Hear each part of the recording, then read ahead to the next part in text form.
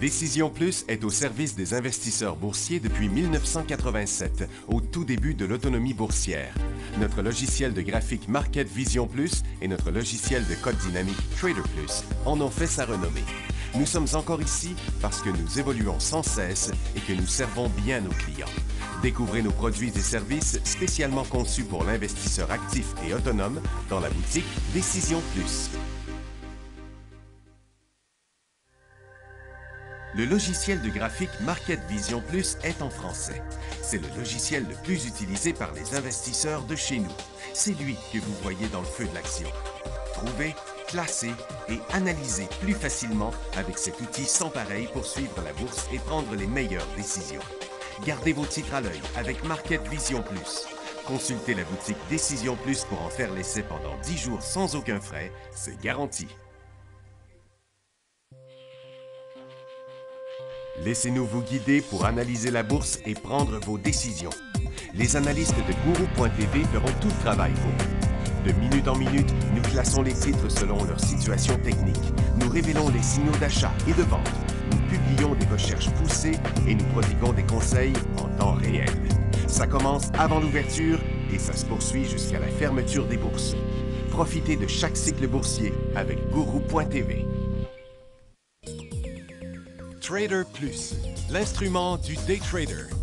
50 codes qui clignotent en même temps. Autant de listes que vous voulez. Graphiques à la seconde.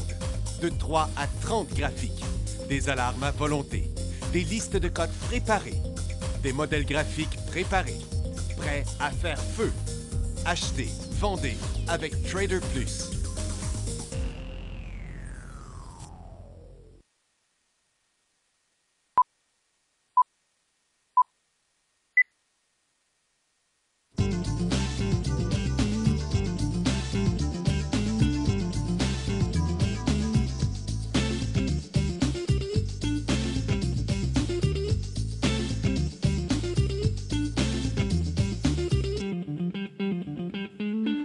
Bonjour tout le monde, bienvenue dans le feu de l'action. Jeudi le 22 juin 2017, on a euh, un invité spécial après l'émission euh, aujourd'hui. On va recevoir euh, Éric Desaunier, qui est fondateur, président et PDG de Nouveau Monde, une compagnie de graphite qui a déjà qui opère déjà pas mal. C'est dans le coin de Saint-Michel-des-Saints. Bon, ben euh, aujourd'hui, euh, quelle sorte de marché qu'on a? Ben, ça ressemble encore à hier euh, pour euh, ce qui est euh, du euh, Nasdaq. Finalement, euh, le 21, il a fini plus haut, mais euh, au départ, ça a resté là comme ça, euh, euh, comme ce matin. Difficile à dire où ça s'en va, cette affaire-là. C'est quand même positif. Euh, du côté de Toronto, on est revenu sur le haut qu'on était hier, euh, au meilleur de la journée. Dow Jones et le SPY ben, ont inversé leur dernier, dernier cycle baissier. Donc, euh, tout ça, ça nous donne euh, quand même un graphique un petit peu bizarroïde. Vous voyez, le Nasdaq qui, revient pour une, multiple fois dans le mois de juin à, la même, même, même, même place. Donc, euh, c'est comme... ça, ça nous dit que ça devrait aller par en haut. Je ne sais pas pourquoi ça ne veut pas y aller là. Euh, sur le Dow Jones, à très court terme, ben, on a eu une journée à la hausse, deux jours à la baisse. On rebondit là-dessus. Donc, euh, en principe, un cycle annulé euh, in- indique que la tendance est, est plus comme ça, mais comme ça en général. Donc, pour le moment, malgré que c'est en hausse, ça reste une interruption du cycle haussier qu'on a connu ici. Donc, pour le voir, il faut le ramener à très court terme.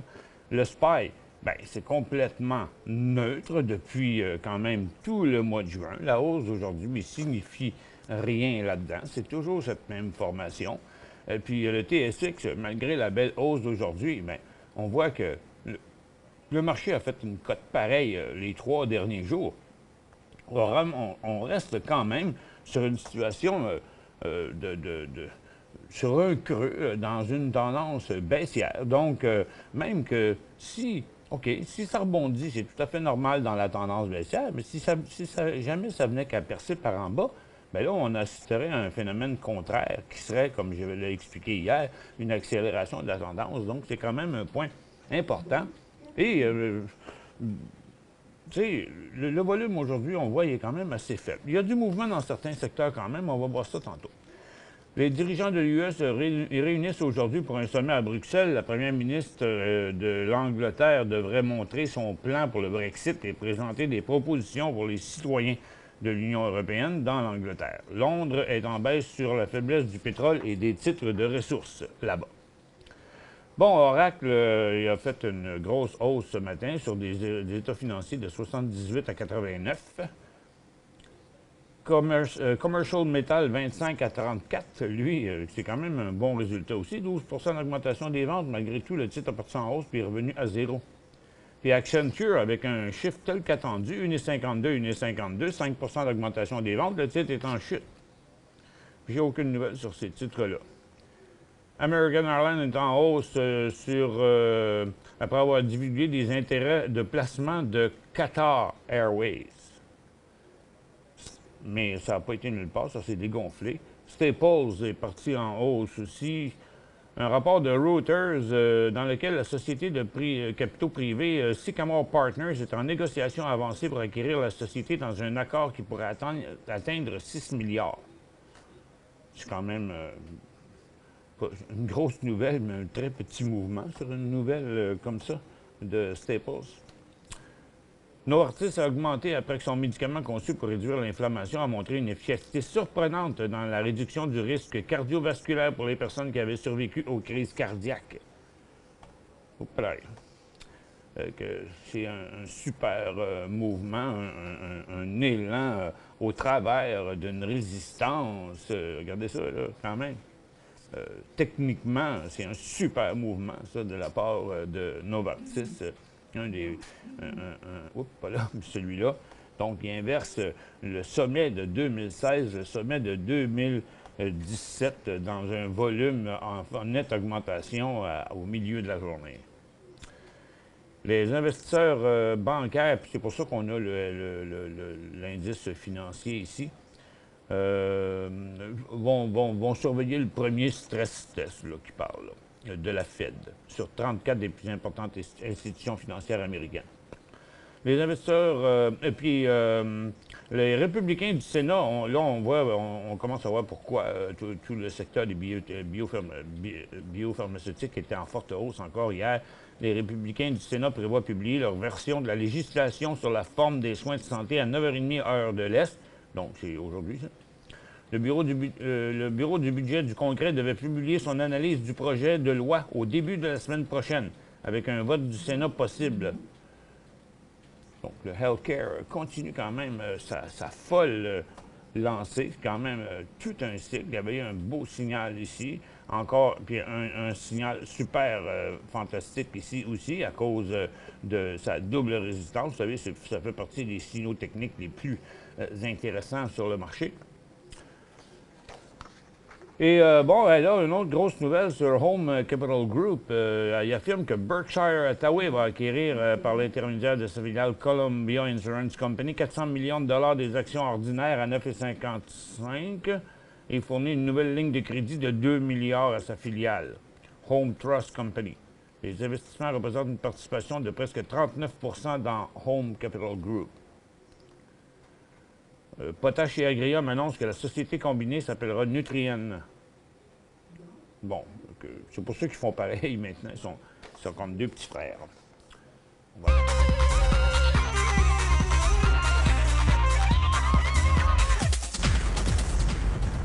Pendant la pause, tantôt, je vais vous envoyer un petit sondage euh, sur euh, le graphite.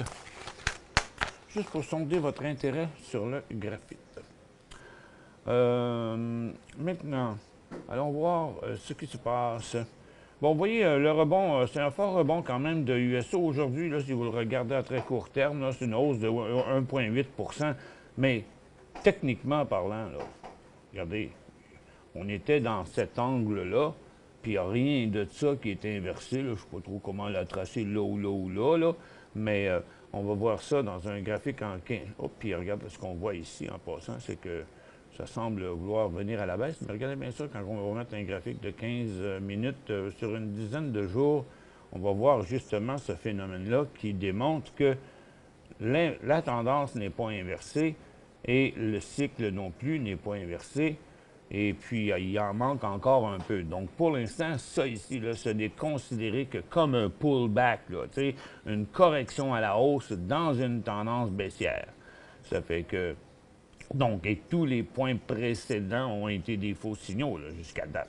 Tous ceux qui ont, montré le moindre décollage. Là. Fait sont ironiques qu'on est vraiment rendu euh, au creux de cette affaire-là parce qu'on n'a plus de point de repère. Puis le prochain creux est, comme plus bas que ça. Le creux est à 7,75.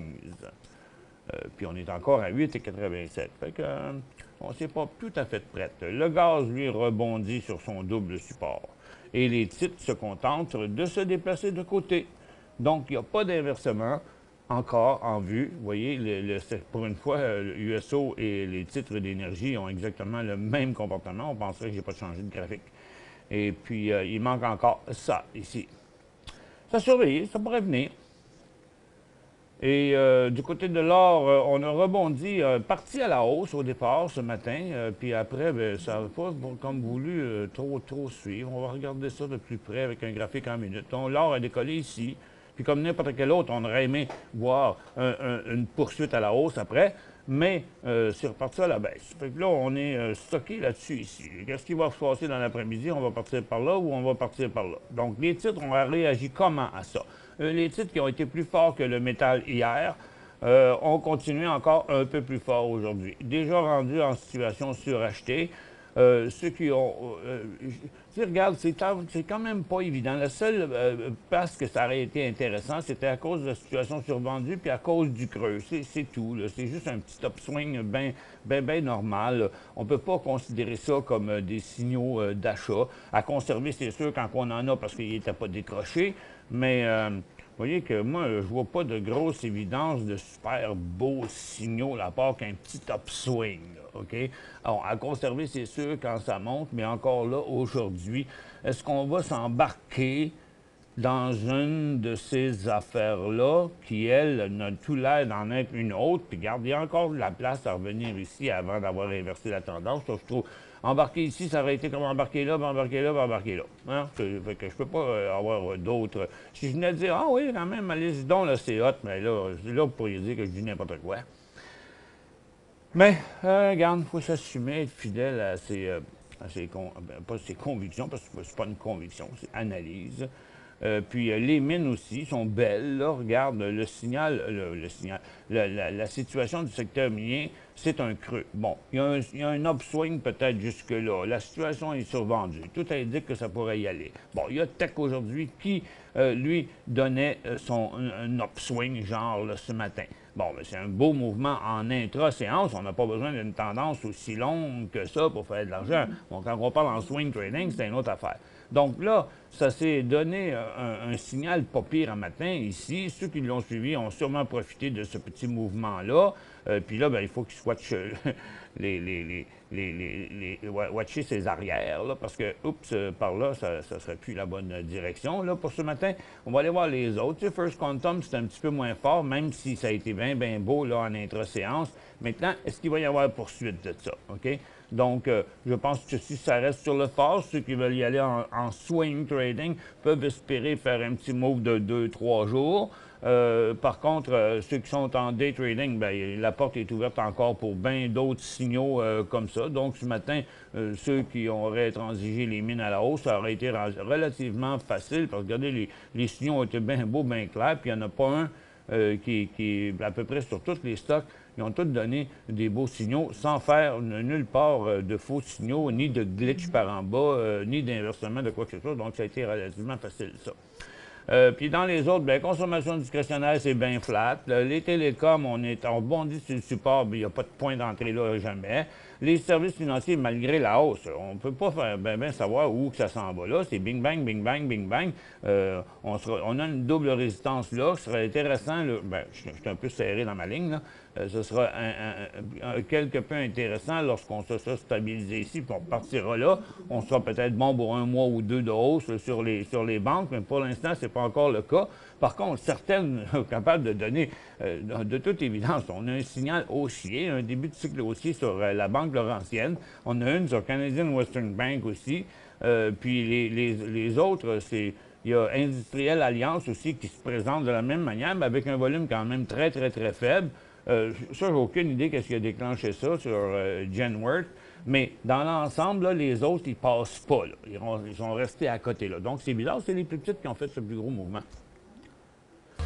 Pour joindre Michel Carignan et son équipe par courriel, écrivez à michelcarignan.com.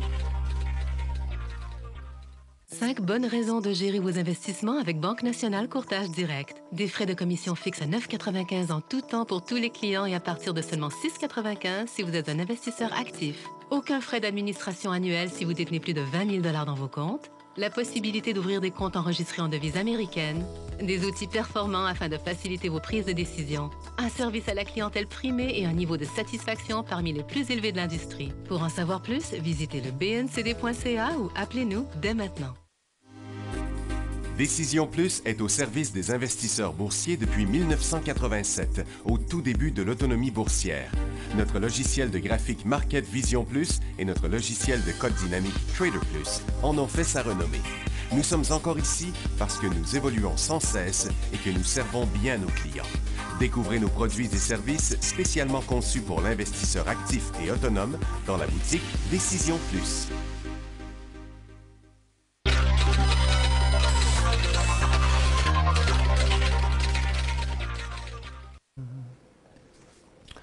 Bon retour, mesdames et messieurs.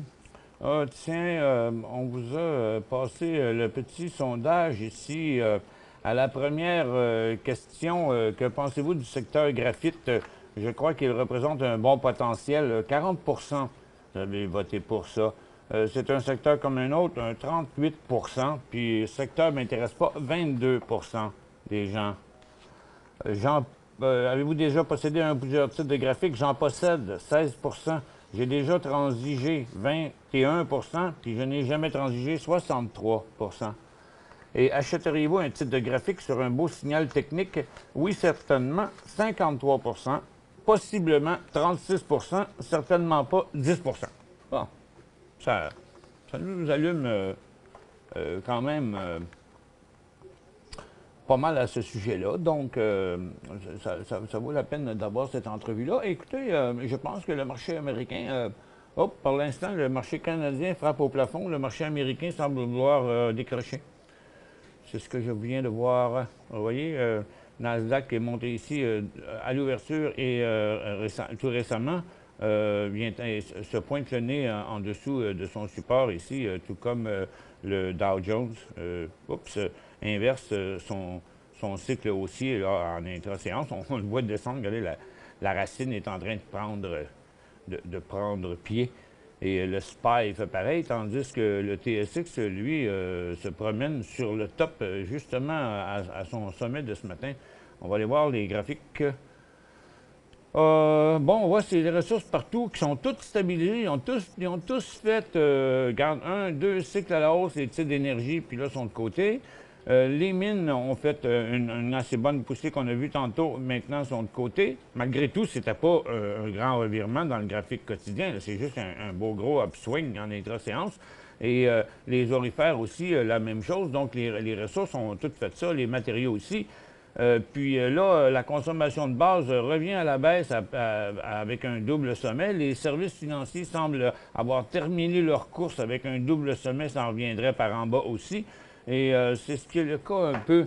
Donc, je pense que notre 100 points, on va avoir euh, beaucoup de misère à, le tenir euh, là pour l'instant. donc, parce que, regardez, encore une fois, l'or a monté et redescendu quand même un peu et maintenant est flat avec une augmentation qui n'était pas si forte que ça, tandis que les titres, eux, euh, sont retournés la deuxième fois. Regarde, les titres sont revenus à, la hauteur du plus haut là, ce matin aussi, puis euh, semblent vouloir percer encore. Donc, euh, les, titres continuent à, provoquer une, confiance plus grande que le prix de l'or. On va y aller avec quelques questions ici. Différence entre CCX et HOU. CCX, c'est euh, Canadian Crude Oil, Crude Oil Index. ETF. Je ne le connais pas vraiment. Celui-là, je le regarde, je ne sais même pas à quoi il ressemble. Il est quand même assez bizarre.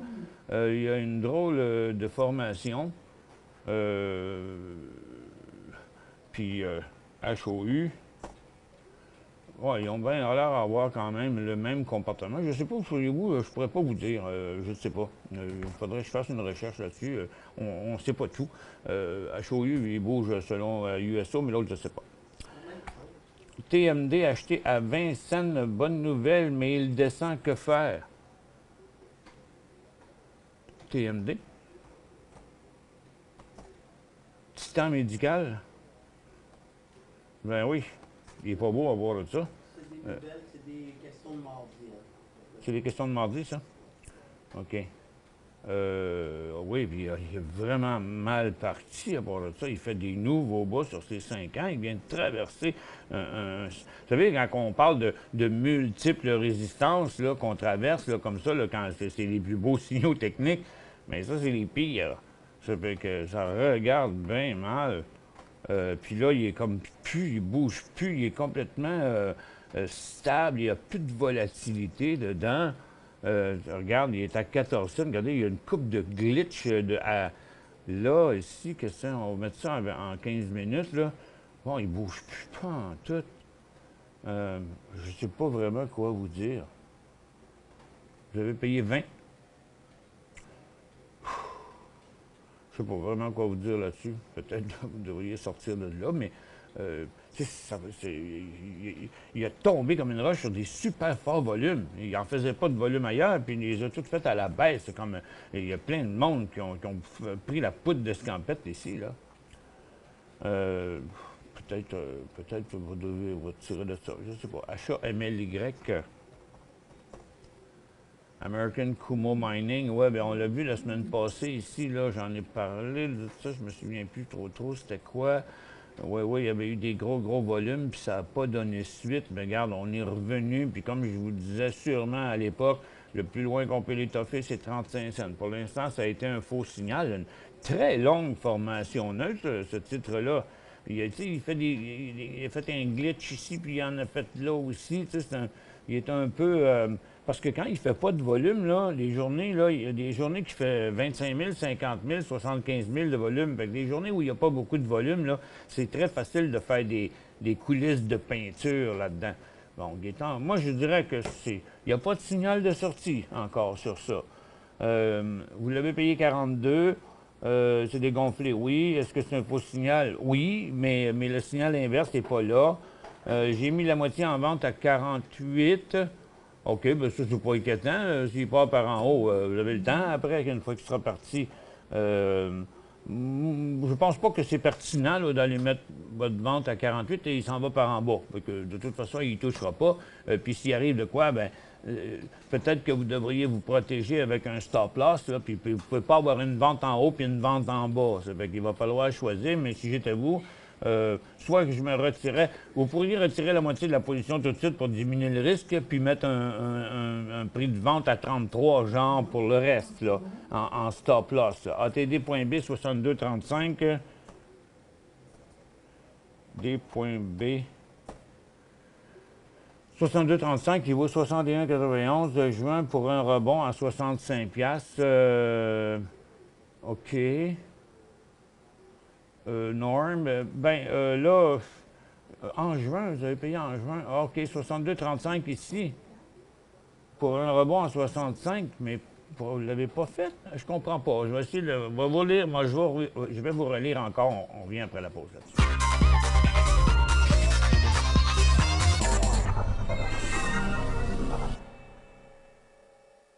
Cinq bonnes raisons de gérer vos investissements avec Banque Nationale Courtage Direct. Des frais de commission fixes à 9,95 en tout temps pour tous les clients et à partir de seulement 6,95 si vous êtes un investisseur actif. Aucun frais d'administration annuel si vous détenez plus de 20 000 dans vos comptes. La possibilité d'ouvrir des comptes enregistrés en devise américaine. Des outils performants afin de faciliter vos prises de décision. Un service à la clientèle primé et un niveau de satisfaction parmi les plus élevés de l'industrie. Pour en savoir plus, visitez le bncd.ca ou appelez-nous dès maintenant. Laissez-nous vous guider pour analyser la bourse et prendre vos décisions. Les analystes de Guru.tv feront tout le travail pour vous. De minute en minute, nous classons les titres selon leur situation technique.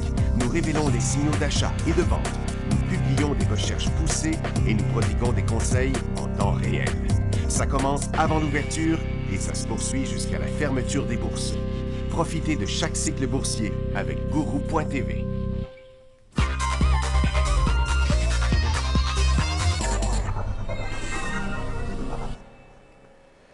Bon retour, mesdames et messieurs. Bon, je vous ai relu, j'ai regardé le graphique, là, euh, c'est le 16 juin 62-35. Euh, 62-35, c'est dans ce coin euh, ici. Donc, vous avez acheté ici, donc qui est là aussi sur, mon graphique, dans le graphique quotidien. Vous étiez sur un support, vous avez acheté ici en espérant qu'il va remonter ici. OK? Mais regardez là. Là, le plus que vous avez vu depuis ce temps-là, là, c'est 63. OK? Donc, il y avait un 75 cents. Sur 62 piastres, on sait que je vous comprends, mais c'est pas beaucoup. Là, après ça, au cours des deux derniers jours, hier après-midi puis ce matin, ben on voit bien que là, il, passera pas, il, il s'en ira pas vers son sommet ici. Là. Il reviendrait de bord parce que dans son graphique quotidien que j'avance maintenant ici, là, vous voyez, on est revenu de l'autre côté on est revenu de l'autre bord. Là. Ça fait que là, on s'en retourne vers le support. Fait que vous voyez, à un, très, très court terme ici, là, je pense pas que vous voulez voir le stock retourner sur son support à 60, 75 ici, là. De là à là. Vous êtes embarqué ici en espérant aller là, mais là, on est ici en direction de là.